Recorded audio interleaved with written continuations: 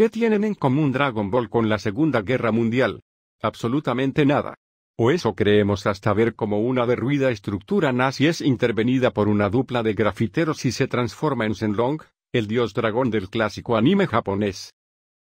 Los artistas Blesea y Baby.k, junto con un grupo de colaboradores, fueron los autores de esta obra de arte callejero en una playa de Normandía, Francia, un punto geográfico de particular interés histórico, donde se libró la batalla de Normandía entre los aliados y la Alemania nazi.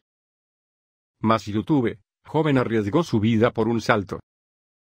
Más YouTube, un ping-pong algo diferente. El trabajo de los grafiteros quedó documentado en un video subió a la cuenta Moga Productions, que ya supera las 90.000 reproducciones en YouTube.